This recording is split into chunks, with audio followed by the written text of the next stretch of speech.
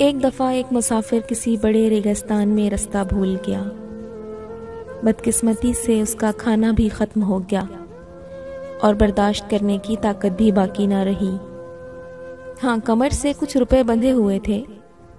जब इर्द गिर्द फिर कर भी गरीब को कहीं राह ना मिली, पानी भी ना मिला तो बेचैनी से जान दे दी। कुछ अरसे बाद इस तरफ़ किसी काफले का गुजर हुआ। तो देखा, ज़मीन पर एक लाश पड़ी है और मरने वाले के सामने रुपयों की एक छोटी थैली भी है। ज़मीन पर कुछ यूँ लिखा था, मालो दौलत से पेट नहीं भरता। ऐसे सोने चांदी से तो शलजम ही अच्छे हैं, जिनसे पेट तो भरता है।